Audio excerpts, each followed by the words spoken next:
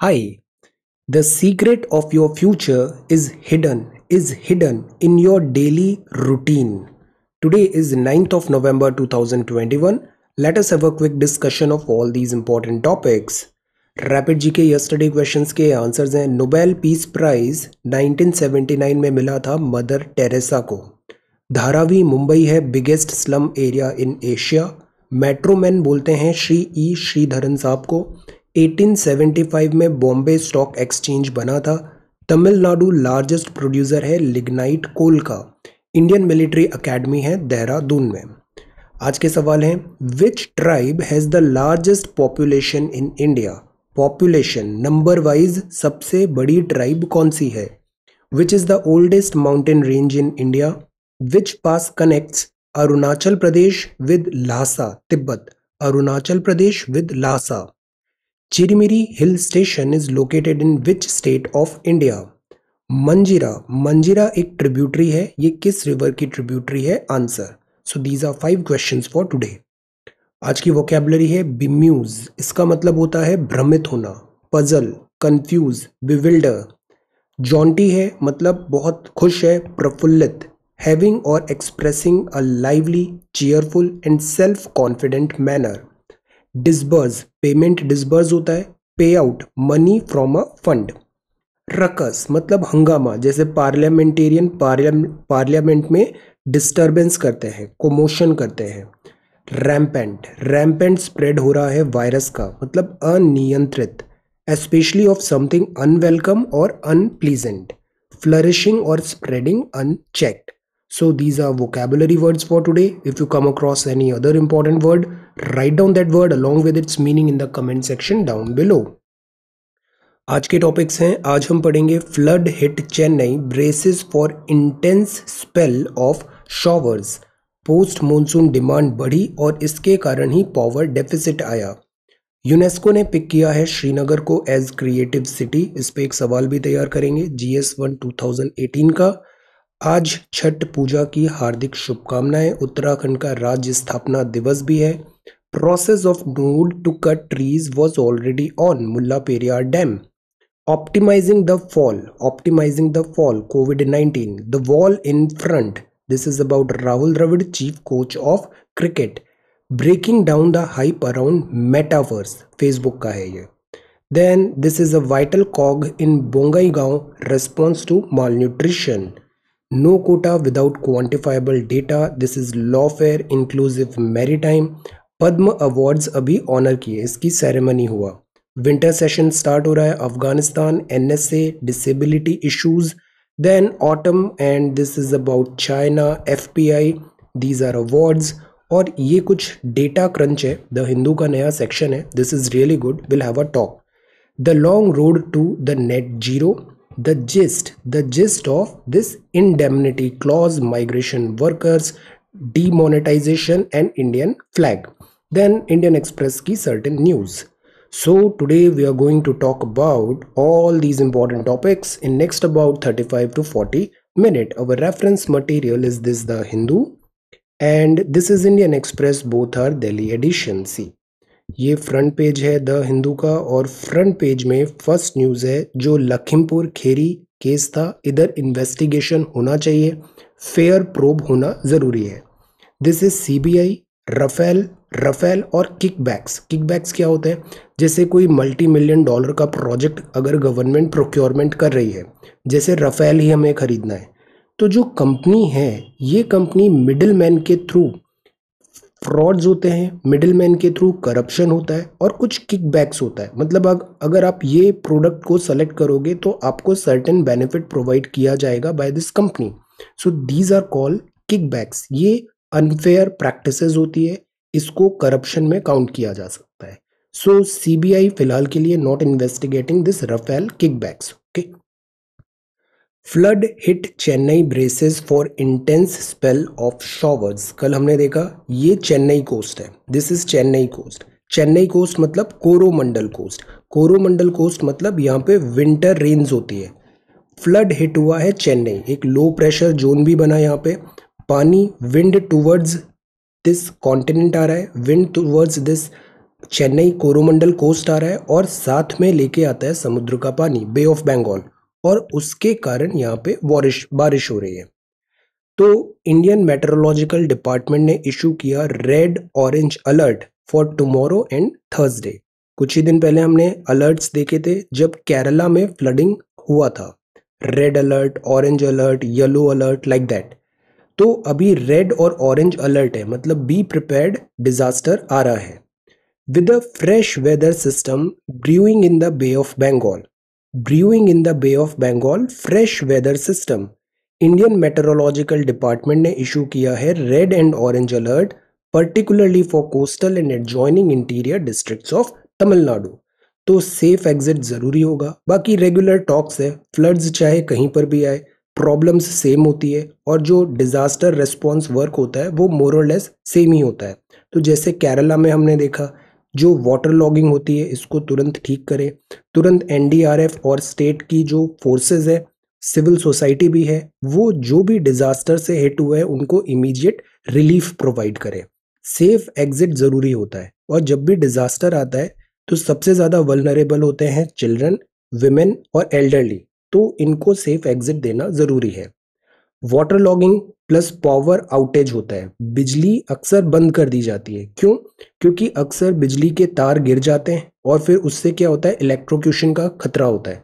तो जब भी आप देखना, ऐसे डिजास्टर ज़ोर से विंड्स चल रही है, पानी बहुत आ रहा है तो बिजली विभाग लाइन पावर कट कर देता है।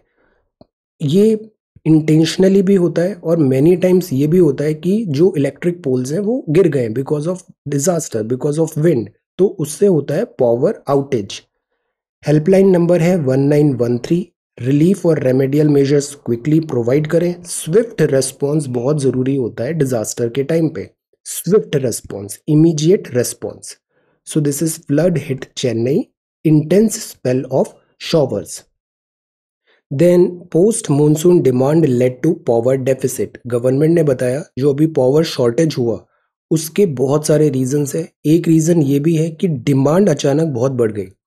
Post monsoon demand led to power deficit और उसके अकॉर्डिंग जनरेशन नहीं हो पाया। तो यहाँ दो स्कीम्स का पर्टिकुलरली मेंशन किया है। पहली स्कीम है दीन दयाल उपाध्याय ग्राम ज्योति योजना। दीन दयाल उपाध्याय ग्राम ज्योति योजना। इसका क्या मतलब है? सेटअप करें transmission and sub transmission system rural India में। रूरल इंडिया में, गाँव में बिजली अक्सर नहीं होती थी तो उसको टारगेट करने के लिए है ग्राम ज्योति योजना।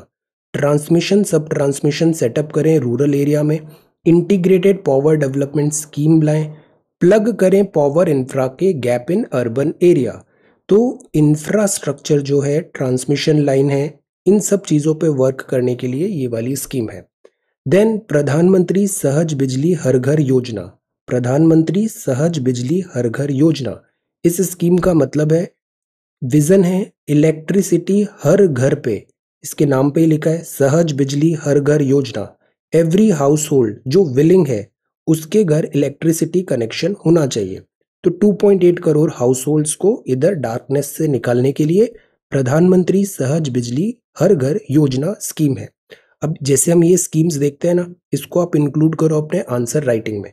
इट्स ऑल राइट अगर इसका बहुत ज़्यादा डिटेल आपको पता नहीं है। एग्ज़ाम में वैसे भी टाइम तो कम ही मिलता है बट अगर आप ऐसे कीवर्ड्स लिख दोगे ना, जैसे जहाँ पे भी इलेक्ट्रिसिटी की बात आई, आपने ये दो नाम लिख दिए, दीनदयाल उपाध्याय ग्राम ज्योति योजना, दूसरा प्रधानमंत्री सहज बिजली हर घर योजना, जब भी डिस्कॉम की बात आई, आपने उदय योजना लिख दिया।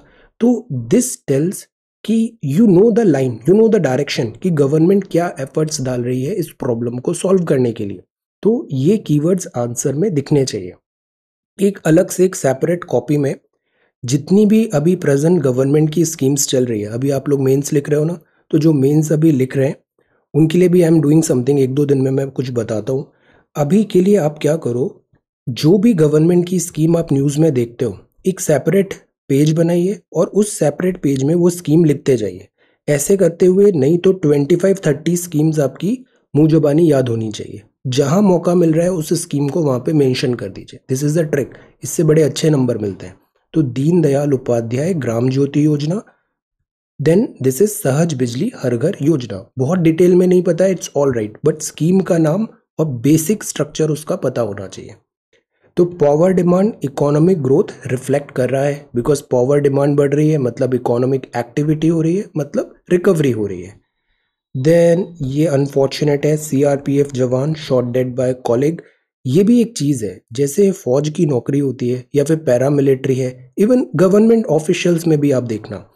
जो प्रेशर होता है, वो बहुत डिफ़िकल्ट होता है। प्रेशर ह्यूमोंगस होता है plus work pressure then second जो चीज़ होती है, अगर जो सोसाइटल है प्लस जॉब एस्पायरेशन है प्लस रूल्स हैं the way the organization work plus अगर उसमें ग्रिवेंस रिड्रेसल नहीं होता है सीनियर्स के थ्रू या फिर तो इस टाइप के जो केसेस हैं, वो अक्सर देखने को मिलते हैं। इसको बोलते हैं फ्रैटरी साइड फौज में भी होता है इसलिए ये ज़रूरी होता है कि हम इमोशनल सोशल जो पूरी फोर्स है, उसको हम एड्रेस करें। Individual as a human being उसकी जो चैलेंजेस है सीनियर्स की ड्यूटी होती है कि वो उसको एड्रेस करें।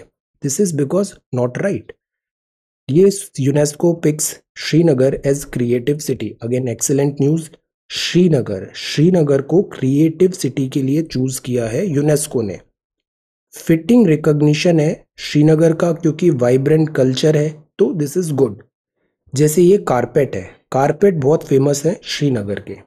United Nations Educational Scientific and Cultural Organization UNESCO इसका हेडक्वार्टर कहाँ है? आंसर कुछ ही दिन पहले देखा है।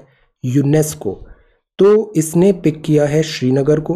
49 अदर सिटीज़ हैं। As creative city network under the craft craft and folk arts category craft and folk arts category में श्रीनगर को यूनेस्को ने 49 ऐसी सिटीज़ के अंदर 49 सच सिटीज़ के साथ चूज़ किया है एज क्रिएटिव सिटी एक्सेलेंट अब क्या होता है कि ऐसे रिकॉग्निशन मिलता है ना तो इससे फॉर्मलाइजेशन होता है। Srinagar is beautiful we know that but अगर यूनेस्को उसको एंडोर्स कर रहा है तो रिकॉग्निशन बढ़ेगा। रिकॉग्निशन बढ़ेगा तो फिर वहाँ पे टूरिस्ट आएगा। यहाँ के जो आर्ट एंड कल्चर और क्राफ्ट है, इसकी ग्लोबल लेवल पे डिमांड बढ़ेगी। इकोनॉमिक एक्टिविटी बढ़ती है। So, this pave way for the city to represent its handicrafts on the global stage. World open हो जाता है ग्लोबल स्टेज पे आप अपने हैंडीक्राफ्ट सेल करोगे और सेल करोगे तो आपको पैसे मिलेंगे। It involves folk art media film literature design this gastronomy and media art ऐसे बहुत सारे डिफरेंट फीचर्स हैं। जयपुर इससे पहले 2015 में आया था क्राफ्ट्स एंड फोक आर्ट्स में जयपुर को इंक्लूड किया था। फिर वाराणसी और चेन्नई को इंक्लूड किया था। वाराणसी थी creative city of music art and culture में हम पढ़ते हैं ना म्यूज़िक के घराने। तो Varanasi creative city of music Chennai 2017 Varanasi and Chennai दोनों को क्रिएटिव सिटी ऑफ़ म्यूज़िक 15 और 17 रिस्पेक्टिवली यहाँ पे सेलेक्ट किया गया था। तो अब ये नया इंक्लूजन है और वो है Srinagar city Jammu and Kashmir. So, it is a fitting recognition for the vibrant cultural ethos of Srinagar. Excellent. अब हम पिछले कुछ दिनों से देख रहे हैं what is culture what is culture what is art what is artifact what is belief system तो अगर हम देखें जो हमारी हेरिटेज है हेरिटेज मतलब जो पुराना हमारी हेरिटेज चली आ रही है तो इंडियन आर्ट हेरिटेज को सेफगार्ड करना ज़रूरी है। Is the need of the moment because you know sometimes back जब इकोनॉमिक लॉकडाउन लगा था कोविड के कारण तो हमने देखा बहुत सारे आर्टिसंस हैं। आर्टिसंस का जो कई बार जो वर्क होता है ना, वो जनरेशन आफ्टर जनरेशन ऐसे ट्रांसफ़र होता है। वन जनरेशन टू अनदर जैसे उत्तर प्रदेश में कुछ पॉटरी मेकर्स हमने स्पेशली देखे थे पॉटरी मेकर्स प्रॉब्लम ये आ रही है कि जो नए उनके बच्चे लोग आ रहे हैं, वो उस परंपरा को आगे नहीं बढ़ाना चाह रहे क्यों नहीं बढ़ाना चाह रहे हैं? बिकॉज़ उसमें इकोनॉमिक फीजिबल नहीं हो रहा है। उसमें कूलनेस नहीं आ रही है। तो अगर नेक्स्ट जनरेशन उसको आगे नहीं बढ़ाएगी तो वो आर्ट एंड आर्टिफैक्ट और कल्चर तो लॉस्ट हो जाएगा। So that is why heritage को कंजर्व करना चाहिए। इसके लिए और भी हम तरीके निकालें, ताकि जैसे इनको हम डिजिटाइज करें प्रॉपर इंस्टीट्यूशन बनाएँ इट्स ऑल राइट अगर उनकी नेक्स्ट जनरेशन इसको आगे नहीं बढ़ा रही है but there would be some other people जो इस आर्ट को आगे बढ़ाना चाहते हैं कैरी फॉरवर्ड करना चाहते हैं। So we need an institution mechanism safeguarding the Indian art heritage is the need of the moment अब ये 2018 में आया था बट 2020 में कोविड आ गया है। So we need to work we need to think this under this COVID lens as well अभी जितने भी सवाल आप देखोगे ना स्पेशली दिस ईयर अभी आप मेंस लिख रहे हो कहीं ना कहीं उसमें कोविड और इसका इम्पैक्ट क्या आया है? Not only health but other aspects as well वो भी आप देखना। तो आर्ट हेरिटेज में क्या इम्पैक्ट आया है? थिंक डिजिटाइज करें इंस्टीट्यूशन मैकेनिज्म बनाएँ इंसेंटिवाइज करें पॉपुलराइज करें, जैसे ये यूनेस्को का है। बिकॉज़ यू नो किसी भी चीज़ को कंपनसेट और कंटिन्यू करने के लिए उधर फाइनेंशियली वायबल उसे बनाना पड़ता है। फाइनेंशियली वायबल तो आर्ट एंड आर्टिसन जैसे पहले राजा महाराजा इनको पैट्रोनेज देते थे। ताकि वो सस्टेन रहे उनकी आर्ट हेरिटेज तो we need to do something इसको सेफ़ गार्ड करना ज़रूरी है। ट्राई टू थिंक और अच्छे क्या पॉइंट्स हो सकते हैं, सोचिए एंड शेयर जब आप अपना वर्क शेयर करोगे, आप अपने थॉट्स बता रहे हो, दूसरों के थॉट्स भी देख रहे हो, बहुत जल्दी रैपिड प्रोग्रेस होती है। प्लस जब आप इन्वॉल्वमेंट रखते हो ना तो अपने आप आपका इंटरेस्ट भी आएगा। That is why I ask so many questions कि आप उधर इन्वॉल्व हो। इन्वॉल्व होगे तो आपका इंटरेस्ट आएगा और पढ़ाई स्ट्रीमलाइन रहेगी। वरना कुछ टाइम बाद फिर आप डिस्ट्रैक्ट होने लग जाते हो। No so that is why involvement is ज़रूरी। आंसर दिस क्वेश्चन अब जो सो ये तो था front page of the Hindu okay mean dengue के केसेस भी बढ़ रहे हैं। ढाई हज़ार से ज़्यादा आए दिल्ली में cases so this is the front page of the Hindu air quality marginally improve हुई है। डेंगू के डेथ ढाई हज़ार क्रॉस हो गए हैं और ये है छठ पूजा। ये होती है लॉर्ड सन सूर्य उपासना के लिए होती है। महापर्व है। छठ पूजा की हार्दिक शुभकामनाएँ। स्पेशली ये फेस्टिवल बिहार में बहुत ज़्यादा ऑब्ज़र्व किया जाता है। देन दिस इज़ उत्तराखंड, राज्य स्थापना दिवस की हार्दिक शुभकामनाएँ। उत्तराखंड उत्तराखंड उत्तर प्रदेश से अलग होके बना था। इसके साथ ही साथ दो राज्य और बने थे, उन राज्यों के नाम भी बताइए। Then process of nod to cut trees was already on ये टॉपिक भी हम इन कंटिन्यूएशन देख रहे हैं फॉर पास सम टाइम ये बात है, मुल्ला पेरिया डैम जो है, ये हो गया है पुराना। पुराना हो गया है तो इसमें वाटर जो हाइट है वाटर लेवल हाइट है केरला बोलता है इसको कम करो अदरवाइज़ डैम टूट जाएगा। बट तमिलनाडु इसका ऑपरेशन करता है मेंटेनेंस करता है और तमिलनाडु को वाटर की रिक्वायरमेंट है सदन फाइव डिस्ट्रिक्ट्स में। सो तमिलनाडु बोलता है हाइट बढ़ाओ इस मुल्ला पेरिया डैम की।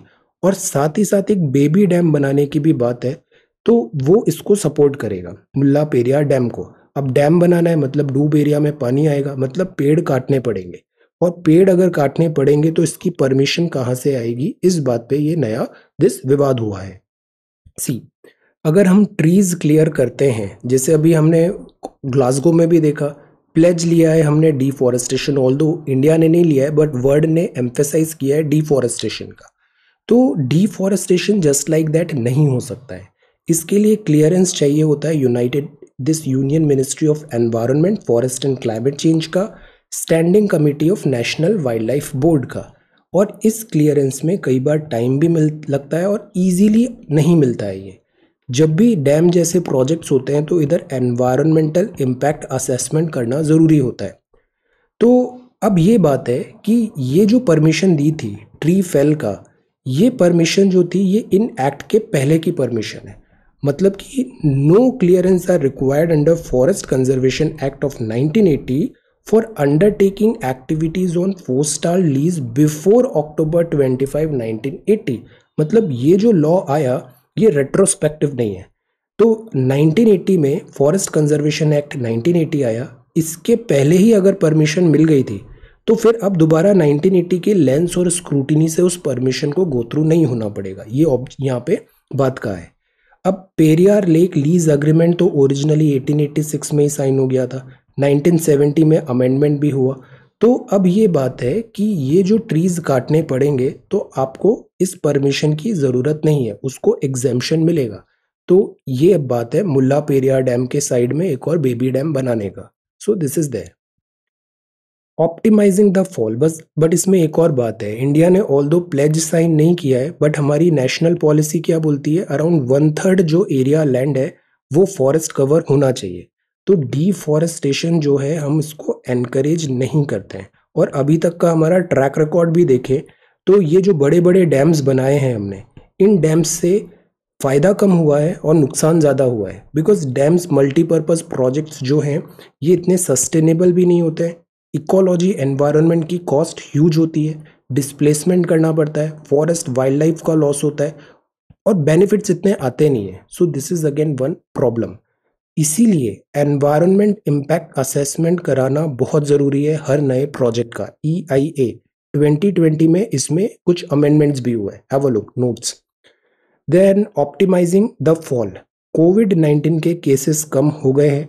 फरवरी में भी ऐसे ही हुआ था बट उसके बाद आई सेकेंड वेव नवंबर में भी केसेस कम हो गए latest see latest hope for the best अभी डिफरेंस ये है फरवरी और नवंबर में कि इस बार नवंबर में वैक्सीनेशन कवरेज अच्छा खासा हो गया है। This is the only difference sero survey भी बोलता है वायरस से लोगों का एक्सपोजर हुआ है तो एंटीबॉडी इम्यूनिटी डेवलप हुई है। बच्चों के लिए वैक्सीनेशन अभी भी नहीं है। हो सकता है एल्डरली को बूस्टर डोजेज देना पड़े वैक्सीनेशन का। सोशलाइजेशन हो रहा है फेस्टिवल का टाइम भी है विंटर्स भी हैं ओपनिंग अप भी हो रहा है। तो देखना होगा अपकमिंग मंथ में क्या इम्पैक्ट होता है। अभी भी वैक्सीनेशन हेजिटेंसी को कम करना है। लास्ट माइल डिलीवरी वैक्सीनेशन की होनी चाहिए। अपग्रेड करें हॉस्पिटल इंफ्रा जैसे ऑक्सीजन का शॉर्टेज क्यों हुआ? इंफ्रास्ट्रक्चर को अपडेट करें। हॉस्पिटल्स में फायर्स क्यों लग जाती है? इंफ्रास्ट्रक्चर को अपडेट करें हॉस्पिटल्स का अपग्रेड करें।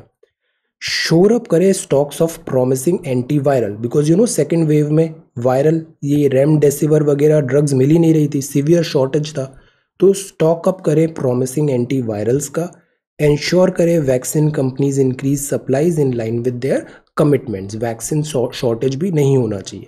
The point is we need to prepare we need to prepare government का यही एक बहुत बड़ा ज़िम्मेदारी होता है कि you have to be prepared always prepared always prepared for the worst case scenario worst case में क्या हो सकता है?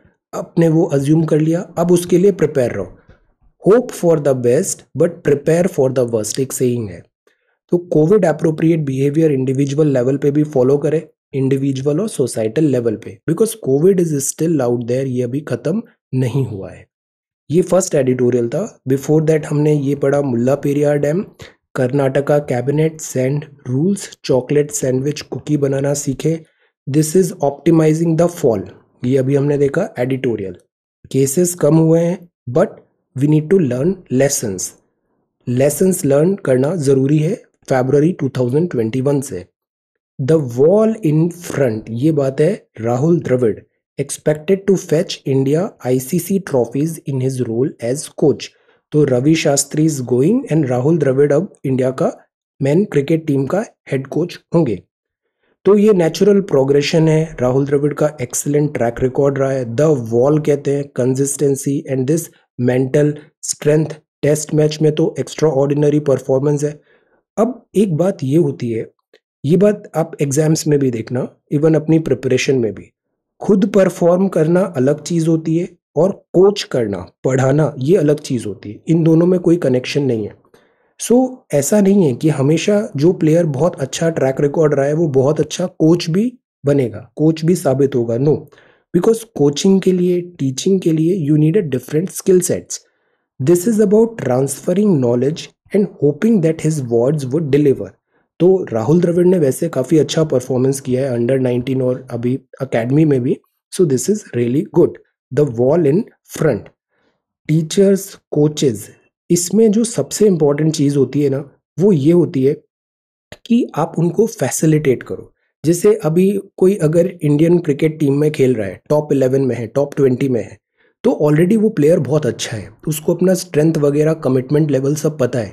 तो इस स्टेज पे जो कोचिंग होती है ना, वो more is about facilitating psychological emotional requirement direction देने की ज़रूरत होती है। Same is with this civil services civil services में भी जो स्टूडेंट्स आते हैं वो लाइक टीनेजर्स नहीं है they are twenty twenty one plus तो उनमें खुद में मोटिवेशन रहता है जुनून रहता है पढ़ना है ये करना है। सो so, इस स्टेज पे उनमें जो फायर है इस फायर को डायरेक्शन देना ज़्यादा ज़रूरी है। Direction because they have got everything in them जो ज़रूरी है एग्ज़ाम क्रैक करने के लिए। इट्स ऑल अबाउट उनकी जो इमोशनल साइकोलॉजिकल और एक चैनलाइज करें उनके थॉट्स एंड प्रोसेसेस को। और इसीलिए इसमें डिसिप्लिन बहुत ज़रूरी होता है डिसिप्लिन ये जो सिविल सर्विसेज़ का एग्ज़ाम है, ये कोई रॉकेट साइंस वाला एग्ज़ाम नहीं है। इसमें सिंपल मेहनत करो डिसिप्लिन से रहो कंसिस्टेंसी रहो, ये एग्ज़ाम बड़े आराम से निकलता है okay so do this thing discipline is necessary. This is about transferring knowledge and hoping that his words would deliver. अब देखिए, एक सवाल है एथिक्स में। In looking for people to hire you look for three qualities integrity intelligence energy and if they and if they do not have the first the other two will kill you ये Warren Buffett का statement है। What you understand by this statement in the present day scenario explain it in one hundred and fifty words UPSC civil services में भी, civil services में भी, अगर आप यहाँ पे इंटरव्यूअर की जगह पे हो, आपको किस टाइप के लोग पसंद आएँगे? जो सिंपल हो सिंपल इन द सेंस जो जैसे हैं वैसे ही प्रिटेंड नहीं कर रहे हैं। देन यू वुड एक्सपेक्ट कि वो एक्चुअली में सिविल सर्विसेज़ जाना चाहता है ज्वाइन करना चाहता है इंटरेस्ट है वर्क करना चाहता है। बाकी ये जो न्यूसेंस वैल्यूज़ है लाइक पावर है मनी है प्रस्टीज है, या फिर रिवेंजफुल एटीट्यूड के साथ अगर आप पढ़ाई कर रहे हो तो ये होती है नेगेटिव वैल्यूज़ इनको पसंद नहीं किया जाता है। तो what you expect from a candidate the foremost quality is integrity because intelligence अगर एक बेसिक लेवल की है ना, तब भी काम चल जाएगा। आपको ग्रूम कर दिया जाएगा। अंग्रेज़ी नहीं आती, आप रहो तीन चार महीने मसूरी में, आपकी अंग्रेज़ी ठीक हो जाएगी। आपका एक्सपोजर ठीक हो जाएगा कॉन्फिडेंस लेवल ठीक हो जाएगा, आपको नए मैनर्स वगैरह सब सीख जाओगे। बट अगर आपका फंडामेंटल्स रॉन्ग है you are not an integrity वाला पर्सन नहीं है then there is a problem तो ये चीज़ सबसे ज़्यादा एक्सपेक्ट की जाती है। So this is there try to answer this question जैसे एक मूवी है यू नो एवेंजर्स करके एक मूवी थी कैप्टन अमेरिका का जो सीरम देना होता है तो उस सीरम के लिए किस कैंडिडेट को क्वालिफाई किया जाए? उसमें भी क्या चेक किया जाता है? इंटीग्रिटी है या नहीं है उस कैंडिडेट में?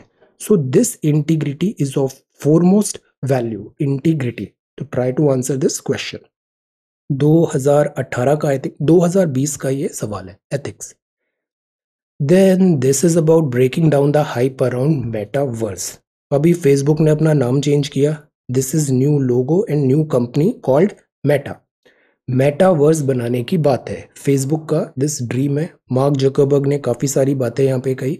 अभी इस पर बहुत ज़्यादा डिवेल नहीं करना चाहिए because this is in at a very early stage और ये फेसबुक एक्सक्लूसिव भी नहीं है। Microsoft Google there are other companies वो सब वर्क कर रही हैं मेटावर्स में। गेमिंग्स वगैरह में आप देखो एक वर्चुअल रियलिटी टाइप आइडेंटिटी बनती है आपकी। एक different set of this society garden में वर्क है तो this is metaverse kind of metaverse commodification in the hands of one corporation detrimental होगा वेब 3.0 डिसेंट्रलाइजेशन मूवमेंट की बात है। इस आर्टिकल में ऑल बहुत सारी बातें हैं, हमारे काम की बात यह है कि हम मेटावर्स में बहुत ज़्यादा ड्वेल नहीं करें, हम फोकस करें रेगुलेटरी कंसर्न्स क्या होंगे। मेटावर्स बिकॉज़ अभी हम बिल्ड कर रहे हैं। तो हमें किन सब चीज़ों पे केयरफुल रहने की ज़रूरत है। अब बिकॉज़ मेटावर्स आज की डेट में कोई एक well defined one one definition नहीं है, इसके बहुत सारे इंटरप्रिटेशन हो सकते हैं। हमें फोकस करना है कॉमनलिटीज़ क्या है। तो मेटावर्स जो है, एक ब्रॉड टर्म है ब्रॉड टर्म है। इसमें interconnected three D virtual world होगा और augmented reality virtual reality artificial intelligence blockchain ये ऐसे करके बातें होंगी। ये कॉन्सेप्ट एक्चुअली एक नॉवेल में आया था स्नो क्रैश 1992 एक साइंस फिक्शन जैसी नॉवेल आती है, जैसे 1999 में एक मूवी आई थी मैट्रिक्स तो उसमें भी एक दिखाया था वर्चुअल लोगों की आइडेंटिटी हो गई है।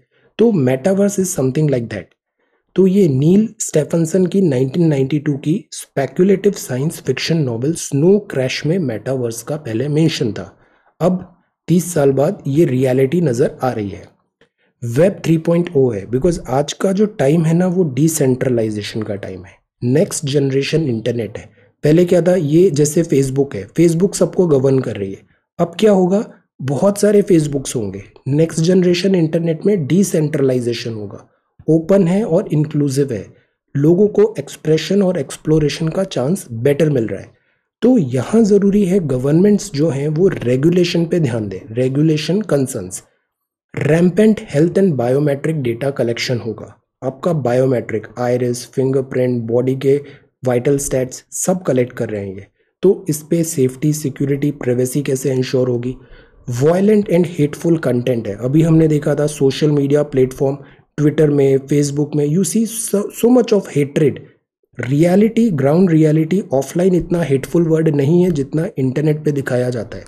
तो बिकॉज़ इंटरनेट पे ये चीज़ सेल होती है, जो नेगेटिव होता है, उस पर आपका अटेंशन ज़्यादा जाता है और आप ऐसा कंटेंट ज़्यादा साइकोलॉजी ऐसा कंटेंट ज़्यादा प्रमोट होता है। और टेक कंपनीज़ को तो प्रॉफिट कमाना है, जितने ज़्यादा व्यूज़ आएँगे, उतना प्रॉफिट होगा। So sometimes they tacitly give approval to violent and hateful content corporation can not be trusted to moderate its platform properly because अगर वो चाहें फेसबुक जैसे यूट्यूब ट्विटर ये चाहें तो एक दिन में ये सारा वॉयलेंट और हेटफुल कंटेंट स्टॉप कर सकते हैं बट वो नहीं करेंगे। क्यों? बिकॉज़ इससे इनका प्रॉफिट लॉस होगा। Goes against their economic incentives तो दैट इज़ वाई ये टाइम एंड अगेन प्रूवन है कि कॉरपोरेट्स पे हम इतने इंपॉर्टेंट पैरामीटर्स के लिए ब्लाइंडली उन पे ट्रस्ट नहीं कर सकते हैं।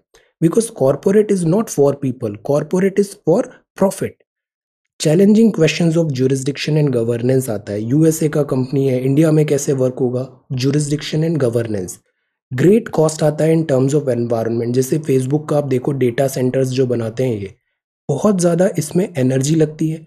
कॉस्ट एनवायरनमेंट कॉस्ट ह्यूज होती है।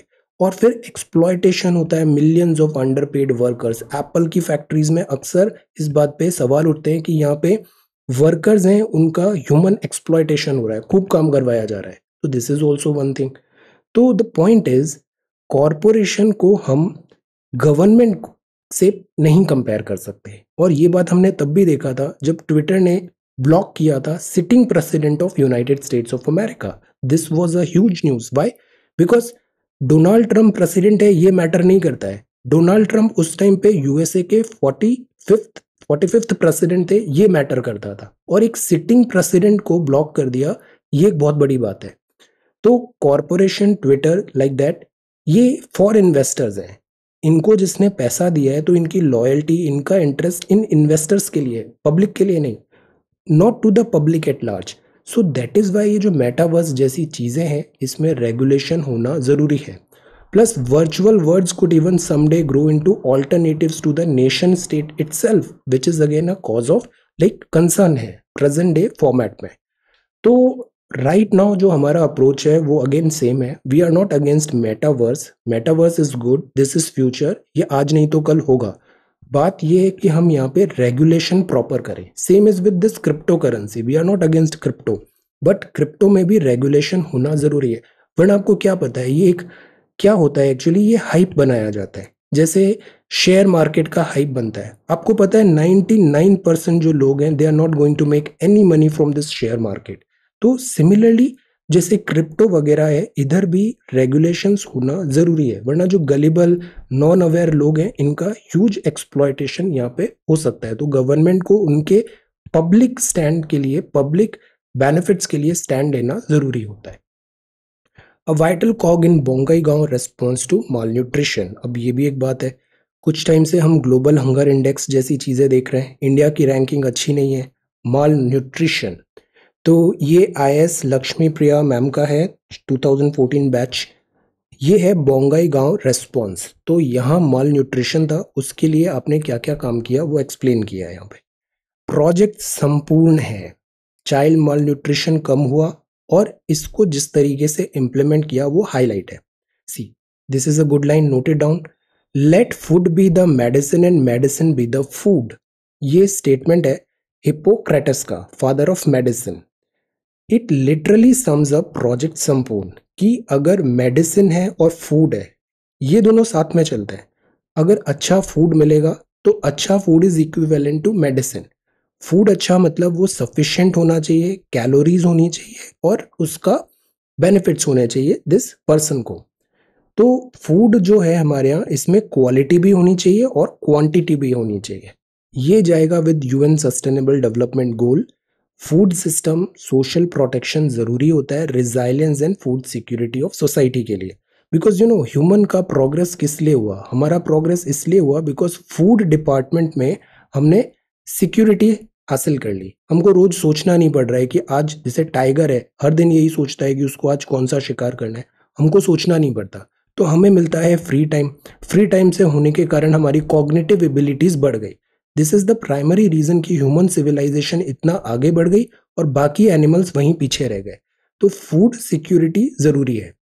पोषण अभियान, पोषण माह हम सेलिब्रेट करते हैं। पोषण मंथ कौन सा मंथ होता है, बताइए? पोषण मंथ। और प्राइम मिनिस्टर ने भी बताया था, कुपोषण मुक्त भारत बनाना है malnutrition free India stunting wasting malnourished और एनेमिक एनेमिक भी स्पेशली जो गर्ल चाइल्ड होती है विमेन वो ज़्यादा एनेमिक होती है। तो ये चीज़ें हमें दिस हमें फोकस रहना चाहिए। National family health survey five में भी यही बताया था कि स्टंटिंग वेस्टिंग और माल नरिशमेंट बढ़ रहा है।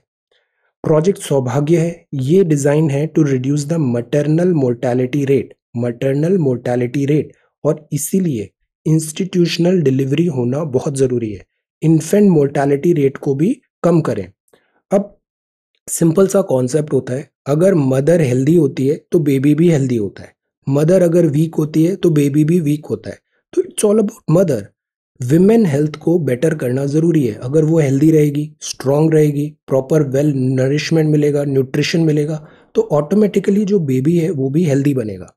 So we need to focus on mother empowered mothers healthy children empowered mothers healthy children noted down patriarchy की बीच में आती है, इसको हटाइए। कस्टम्स अगर नहीं है साइंटिफिक नहीं है तो इनको भी हटाइए। ये बैरियर्स हैं, इनको ओवरकम करिए। Self help groups NRLM rural livelihood mission anganwadi, इन सबको टैप इन करिए for this empowered mothers healthy children so healthy children पे हमें फोकस करना चाहिए और इसमें ये बोंगाई गाँव का केस स्टडी है, जहाँ पे ये सारे काम किए और अब वहाँ पे बेनिफिट्स रिजल्ट्स देखने को मिल रहे हैं। So these are low hanging fruits empowered mothers healthy children we need to focus our energy and time in this direction no quota without quantifiable data तो डेटा ज़रूरी है. डेटा के अकॉर्डिंग ही policy formulation होना चाहिए, जो scientific होता है accountable होता है बिलीवेबल होता है. लैक ऑफ़ रिसेंट डेटा है. डेटा ही नहीं है तो आप पॉलिसी कैसे बना रहे हो? सवाल उठता है एजुकेशन एम्प्लॉयमेंट पे भी. So we need to have this quantifiable data reliable data. यहाँ एक वर्ड है, जैसे वॉरफेयर हम देखते हैं ना, ऐसे ये लॉ फेयर है लॉ फेयर बिकॉज़ जो वर्ड है ना, ये नियम के हिसाब से चलता है rules it's a rule of law rules तो इंटरनेशनल वे में भी हमें पॉलिसी फॉर्मुलेशन करना होता है तो हमें रूल्स को प्रोमिनेंट रखना चाहिए rules if India wishes to emerge as global power तो हमें लॉ फेयर पे फोकस करना चाहिए लॉ कानून।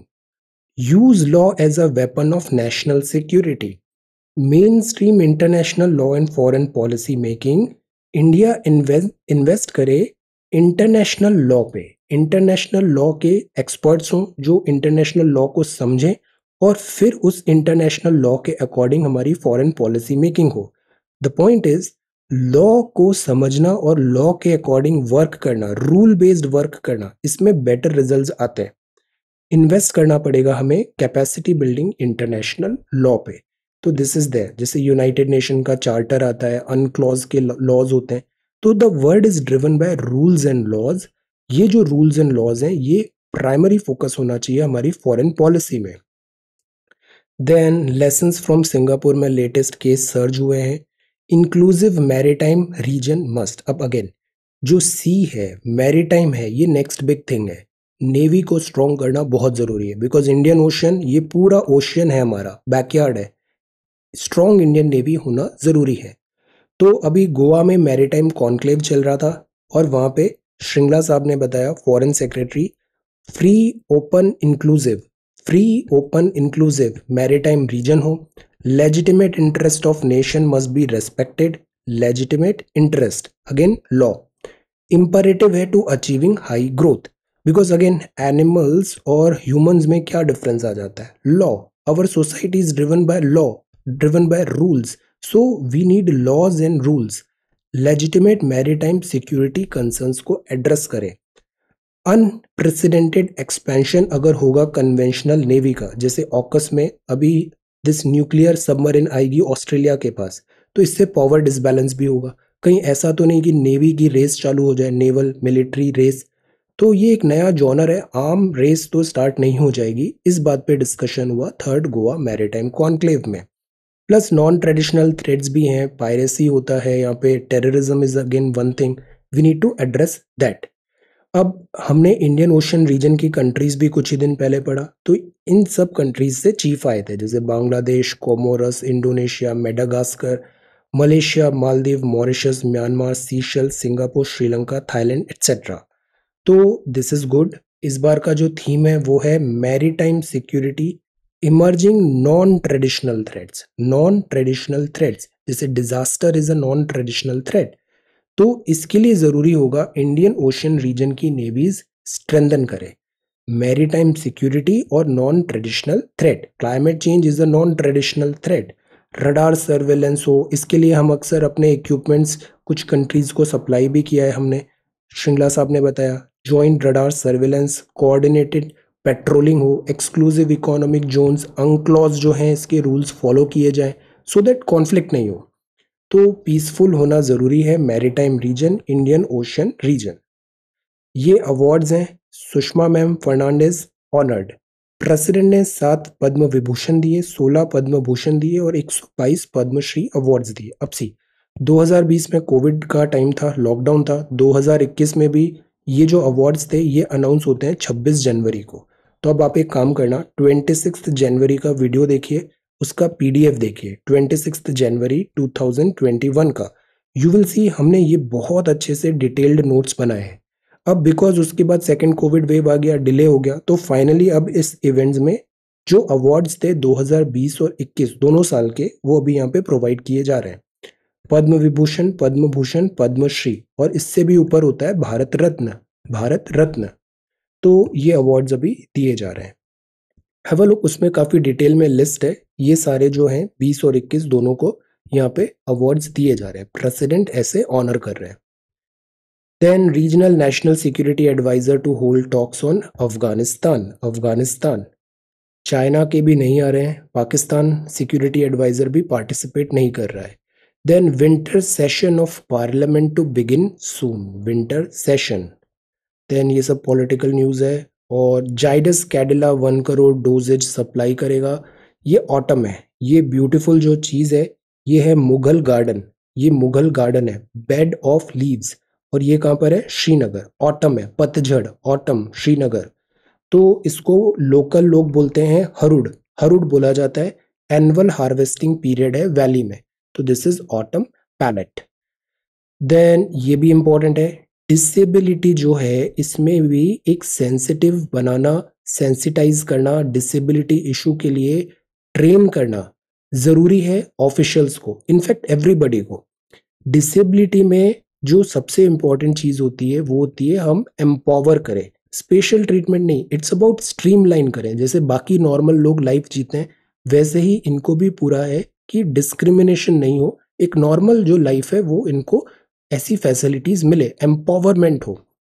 तो इसके लिए आशा वर्कर्स आंगनवाड़ी वर्कर्स जो ऑफिसर्स हैं गवर्नमेंट इन सब के लिए एक गाइडलाइन बुक्स बनाई है, कुछ गाइडलाइंस दी है सेंट्रल सेक्टर स्कीम्स वगैरह से लोगों को अवेयर करने के लिए by social justice and empowerment ministry social justice and empowerment ministry तो एक general dos and don'ts type guideline है कि ट्रेन हो, हैंडल कैसे करना है डिसेबिलिटी इशू का।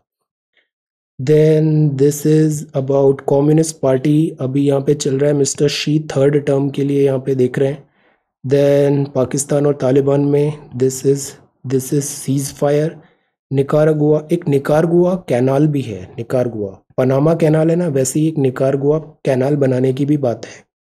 Fertiliser row Chinese firm ask Sri Lanka to pay for negligence अब चाइना क्या कर रहा है? प्रैक्टिस कर रहा है। वॉर प्रैक्टिस और टारगेट के लिए डमी जैसे यूएस की जो शिप्स है, ऐसा मॉकअप बनाया है यूएस नेवी वॉरशिप का। दिस टेल्स कि चाइना इज़ ऑल्सो प्रिपेयरिंग कि यूएसए के साथ अगर कन्फ्रंटेशन होता है तो they know the targets then India is now ahead of China in financial inclusion financial inclusion का सबसे जो इम्पोर्टेंट पुश आया वो था जैम जैम ट्रिनिटी इससे क्या हुआ? एक तो डीमोनेटाइजेशन पे हमने डिजिटल प्रोडक्ट्स बढ़ाए। तो इससे फाइनेंशियल इंक्लूजन बढ़ा है। तो दैट इज़ वाई इस मैट्रिक्स में हम चाइना से आगे हैं। एसबीआई की रिसर्च रिपोर्ट ने भी ये बताया। प्लस जो बिज़नेस करस्पॉन्डेंट मॉडल है बैंक करस्पॉन्डेंट्स होते हैं एक्चुअली इनको इंटर ऑपरेबल बनाए। मतलब एक बैंक का बैंक करस्पॉन्डेंट है, ये दूसरे बैंक का भी बैंक करस्पॉन्डेंट बन पाए या वहाँ पे भी ऑपरेट कर पाए।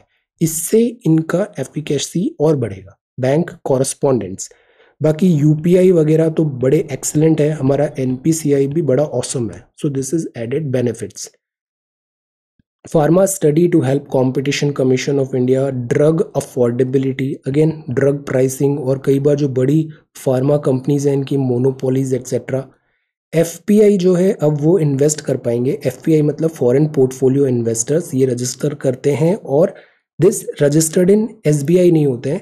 ये इंडिया में this Indian stock and this market में इन्वेस्टमेंट कर सकते हैं। तो ये फॉरेन पोर्टफोलियो इन्वेस्टर्स हैं फॉरेन पोर्टफोलियो इन्वेस्टर्स ये एफ़ जो हैं तो ये एफ़ जो हैं, ये इंडियन स्टॉक मार्केट में इन्वेस्ट कर सकते हैं। जो पहले मैंने बताया, वो था these participatory notes participatory notes में जो थ्रू इंडिया में इन्वेस्टमेंट आ रहा है, उनके लिए ज़रूरी नहीं है सेबी में रजिस्टर करना। ये एफपीआई है फॉरेन पोर्टफोलियो इन्वेस्टर्स अब नया डेवलपमेंट ये है कि infrastructure real estate real estate investment trust infrastructure investment trust तो ये जो डेट सिक्योरिटीज लाती हैं इन्विट्स और दिस आरईआईटीएस इसमें भी अब एफपीआई इन्वेस्ट कर पाएँगे। इंफ्रा और दिस रियल एस्टेट इसमें बहुत पैसे की ज़रूरत पड़ती है तो दैट इज़ वाई ये लोग ऐसा ट्रस्ट करके मार्केट से पैसा उठाने की कोशिश करते हैं। अब उसमें फॉरेन पोर्टफोलियो इन्वेस्टर भी अपना पैसा लगा पाएँगे। तो this is new development medium term framework voluntary retention route भी इसमें बना रहेगा। हमें बस ये जानना है इन्विट्स और दिस रियल एस्टेट में अब फॉरेन पोर्टफोलियो इन्वेस्टर भी अपना इन्वेस्टमेंट ला पाएँगे। इससे क्या होगा? इंफ्रा डेवलपमेंट में पुश मिलेगा। Then this is sports India का पैकअप हो गया वर्ल्ड कप से। And this is the new section और बहुत अच्छा सेक्शन ये नया स्टार्ट किया है। ये है टेक्स्ट एंड कॉन्टेक्स्ट तो न्यूज़ इन नंबर्स देखें तो डीमोनेटाइजेशन में ये पर्पस था कि हम डिजिटल पेमेंट को बढ़ाएँ और कैश का परसेंटेज कम करें। पाँच साल बाद कैश अभी भी किंग है 14.3 percent cash to GDP ratio है। This is on higher side crypto currency भी राइज हो रहा है बट क्रिप्टो करेंसी में रेगुलेशन ज़रूरी है। Kohli, Virat Kohli excellent cricketer this is Zika Zika virus था। जीका वायरस के केसेस बड़े हैं। इससे माइक्रोसेफेली हो जाता है बेबीज में। सर ऐसा बड़ा सा हो जाता है। माइक्रोसेफेली 89 अभी टोटल केसेस मिले। ये यंग नाइट्स है। इंडिया और चेस पुराना दिस हमारी हिस्ट्री रही है। 71 ग्रैंड मास्टर्स हैं चेस में। After 18 year old this Sankalp Gupta. Third major master young knights chess में इंडिया बहुत अच्छा करता है। ये the long road to net zero है। नेट ज़ीरो मतलब positive negative carbon emission zero India ने कमिट किया है 2070 तक नेट ज़ीरो हम बनेंगे। इसके मायने क्या है? अब इसमें बहुत ज़्यादा डिवेल नहीं करना है। जो वो पाँच बातें प्राइम मिनिस्टर की हमने देखी थी, उसको एक बार आप फिर से पढ़ लीजिए दैट्स ऑल बाकी इसमें सब रिपीटेटिव न्यूज़ है कि टू तक हमें बनना है। छब्बीस कॉप में का यूएनएफसीसी का मीटिंग था ग्लासगो में। सारी कंट्रीज़ ने कमिटमेंट किया है। मोस्ट कंट्रीज़ में जो ज़्यादातर दिस चाइना यूएसए टाइप जो मेजर इकोनॉमीज़ हैं इंडिया ने भी बोल दिया 2070 तक हम नेट ज़ीरो बनेंगे। अब बनेंगे कैसे? बनने के लिए हमें चाहिए होगी ग्रीन एनर्जी हमें रिन्यूएबल्स चाहिए होंगे प्रोग्राम्स चाहिए होंगे ताकि रिडक्शन हो एमिशन का। Clean energy innovation green tax सब रेगुलर बातें लीगल मैंडेट भी होना चाहिए असेसमेंट करें ग्रीन फंड्स बनाएँ। नेट ज़ीरो के लिए इंडस्ट्री रिन्यूएबल भी होना चाहिए। ऐसे प्रोडक्ट्स बनाए जो रिड्यूस रिसाइकल ज़्यादा फोकस करे, जिनकी शेल्फ लाइफ ज़्यादा हो वेस्टेज कम हो सप्लाई चेन बेटर करे, नए जॉब्स बने, ये सब बातें हैं यहाँ पे। Then this is this cash ratio अच्छा ये कुछ कीवर्ड्स अगेन इस आर्टिकल के हैं, जैसे नेशनल हाइड्रोजन मिशन पे हम फोकस करें सोलर पावर पोटेंशियल पे फोकस करें। अर्बन सॉलिड वेस्ट मैनेजमेंट पे फोकस करें, waste management.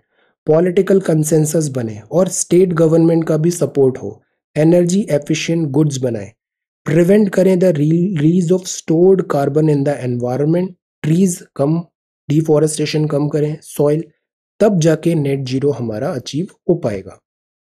Then covid nineteen vaccination अभी तक इंडिया में क्यों नहीं आ रही है? The reason is indemnity indemnity मतलब फाइजर की वैक्सीनेशन से अगर किसी का लाइफ लॉस हुआ तो इंडेमनिटी के अकॉर्डिंग फाइजर को भुगतान करना पड़ेगा, जुर्माना भरना पड़ेगा। बट फाइजर इस बात से इंडेमनिटी चाहती है। Contract of indemnity is where one party promise to save the other from any loss caused to the latter तो वो चाहती है गवर्नमेंट नुकसान भरे अगर वैक्सीनेशन से कोई लॉस हुआ। ये बात फाइजर पे नहीं है बस इसी बात पे डिसएग्रीमेंट है और इनको इंडिया में इंट्रोड्यूस नहीं किया जा रहा है। इंडेमनिटीज एसेंशली कॉन्ट्रैक्चुअल मैटर होता है सप्लायर और रिसिपियंट में। Good deal of confidentiality is attach to such agreements India ने ऑलरेडी बड़े स्टेप्स लिए हैं फास्ट ट्रैक करने के लिए वैक्सीनेशन के लिए लोकल ट्रायल्स के लिए भी। लेट अस सी इनकी वैक्सीनेशन कब आती है फाइजर एंड मॉडर्ना देन ये बात है डीमोनेटाइजेशन डीमोनेटाइजेशन से जैसे अभी हमने देखा कैश परसेंटेज तो अभी भी ज़्यादा है। एक और बात है, हमारे यहाँ ऐसा अज्यूम कर लिया जाता है cash is bad no cash अगर लीगली अर्न किया है then it is as good as digital money तो अननेसेसरी पुश भी नहीं करना चाहिए। जैसे बहुत सारे सीनियर सिटीजन हैं विलेज में हैं they are not comfortable with digital wallets UPI money तो कैश का ऑप्शन भी उनके लिए ओपन होना चाहिए। Unlike the poor holders this wealth वगैरह लॉजिस्टिक्स चैलेंज भी आए तो ये जो पूरा डीमोनेटाइजेशन की एक्सरसाइज थी, इसके पॉजिटिव्स भी थे और नेगेटिव्स भी हुए हैं। This mammoth this demonetization to prove और नॉट टू मूव ये बात है माइग्रेशन का। माइग्रेशन होता है, लोग एक जगह छोड़ के दूसरी जगह जाते हैं। बिकॉज़ सोर्स पे होता है पुश फैक्टर यहाँ या तो पॉलिटिकल कंडीशन ठीक नहीं है, जैसे अफ़गानिस्तान हुआ तो लोग बाहर भाग रहे हैं, बाहर जा रहे हैं। दिस इज़ माइग्रेशन और फिर होता है इन बाहर में अच्छी कंडीशन है, जैसे यूएसए में लाइफ अच्छी होती है तो people are going to USA तो पुश फैक्टर और पुल फैक्टर टू मूव और not to move again decision होता है। इस पे यहाँ पे बात की है। इकोनॉमिक कॉस्ट क्या होगा? सोसाइटल कॉस्ट क्या होगा? माइग्रेशन का। अब डेली क्विज में ये सवाल है, ये हमारा फ्लैग है। फ्लैग से रिलेटेड सवाल है। दिस इज़ वैक्सिलोलॉजिस्ट मतलब फ्लैग के बारे में you know the things in which country would one be in in the flag had an A K forty seven ही बना रखी है उन्होंने अपने फ्लैग में. ऐसी कौन सी कंट्री है? Answer European country flag is set to have its genesis in the flag that fell from heaven in 1219 and hence holds the Guinness World Record for the oldest continuously using national flag. Name the country and what is the flag called? ये Europe की कोई country है?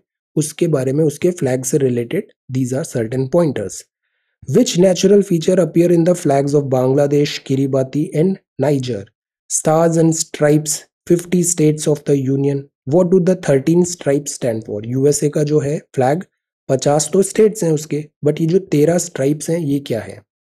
Country के किस flag में equal bands है blue and red का? Peace time पे blue is on top country war पे होती है तो बैंड्स रिवर्स हो जाते हैं। और नेम दिस एशियन नेशन ऐसा कौन सा कंट्री है एशिया का? Name the only UN member nation to have a map of the country in the national flag Nepal का फ्लैग डिफरेंट है from other national flag in what ways तो ये सात सवाल है। इसने भी, हिंदू ने भी क्विज चालू कर दिया है डेली का। So these are seven question related to flags तो ये जैसे स्टैम्प है इंडियन नेशनल फ्लैग आप नाम बताओ, इन फ्रीडम फाइटर का नाम क्या है? इंडियन नेशनल फ्लैग बाकी ये कल के जो सवाल थे, उसके आंसर्स हैं, ये भी मैंने नोट्स में बना दिया है okay so this is the Hindu Indian Express में भी दिस इज़ अबाउट अवार्ड्स तो सेरेमनी अभी हुई है। अनाउंसमेंट तो 26 जनवरी 2021 को हो गया था। सो दैट इज़ वाई उस दिन का आप एक बार पीडीएफ देखना। देन बीजिंग भी अभी पार्टिसिपेट नहीं कर रहा है। एनएसए में स्टार्टअप्स इंपॉर्टेंट है। जॉब क्रिएटर बने। मॉल्स ऑफ़िस ओपन हो रहे हैं बट केयरलेस नहीं होना है। डेंगू का कहर। Then crossing red lines UAPA में कुछ दिस अपडेट्स ज़रूरी हैं। इसमें जो मिसयूज़ होता है पावर का। Then this is the Eurasia opportunity India और यूरोप में strong ties then connectivity effect है। ये पद्मा अवॉर्डीज है। कॉप ट्वेंटी सिक्स कंटिन्यू है न्यूज़ इसरो और देवास में फॉल आउट हुआ है। देन एंट्रिक्स एक जो डील था। US lifts ban vaccinated foreigners का। चाइना सीपीसी अफगान में गर्ल्स स्कूल ओपन हो गया है। Then NSO spyware Palestine Chinese women Yang Yaping first Chinese women है to space walk Wang Yaping Chinese space station Kuwait है। ये एक मीटियोर शॉवर हुए थे अभी मीटियोर शॉवर मीटियोर और मीटियोर राइट में क्या डिफरेंस होता है? टेल मीटियोर और meteorite India submarine strength इसमें एक्चुअली सबमरीन से ज़्यादा ये पूरा हिस्ट्री दिया है कि जो अलिजेशंस वगैरह भी हुए हैं submarine modernization program and CBI investigation this is there Maharashtra transport then vehicles और ये है housing finance companies logistics see logistics ease ranking में गुजरात ने टॉप स्पॉट लिया है। Logistics ease across different states report पे। So this is again good logistics so this is the indian express. Okay. So thank you so much for watching this video. Take care study well and be safe